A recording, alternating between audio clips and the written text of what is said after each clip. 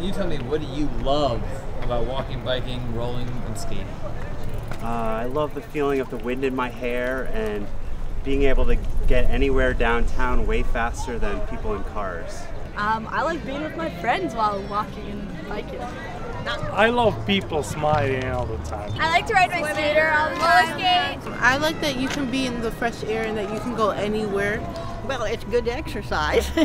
it's life sustaining. Well, I like it because it keeps me fit and because uh, it's got a lower carbon footprint. I bike everywhere. It's my main source of transportation. Bikes and buses and Ithaca Car Share all go hand in hand in helping our environment. I like going places and picking up things and not using my car. It's great for being, you know, face to face with your neighbors and folks in the community. And but in general, we just love being downtown, especially when the streets are blocked off like this. It's just a fun event.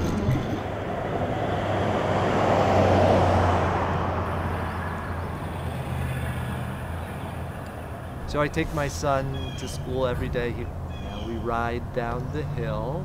Some of the challenges are just crossing the road to get to the sidewalk. I mean, there's no way we would even think about riding on the road with the traffic. And so just crossing that the first road with so much traffic going by is often a challenge. And then cr crossing the really busy streets is hard. I mean, riding on the sidewalk is is is fine. I mean, it's not a smooth service. Sometimes there are pedestrians, so we have to stop.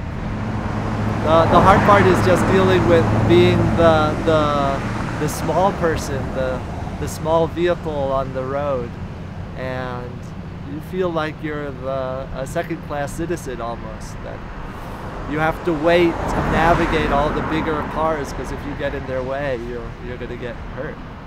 Uh, and we just long for a safe place for us to ride and for everybody else to be able to ride their bikes uh, to get to the places where they need to go. We've seen so many reasons in this video why people love to walk and bike. You get to meet your neighbors, you get to see the community, reduce their carbon footprint, not have to rely on their cars. And yet there's so much more work that needs to happen to really make this region a great place to walk and bike to get around.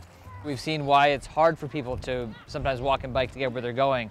And uh, we have the solution. We have a great organization here that we are looking to get off the ground that will make a huge difference in Tompkins County and make this an outstanding, amazing place to walk and bike, and we need your help. So please contribute as much as you can, help us reach our goal, and help us make Ithaca even more of a fabulous place than it already is, and the rest of Tompkins County. We have so much work to do and so much to be proud of, so thank you.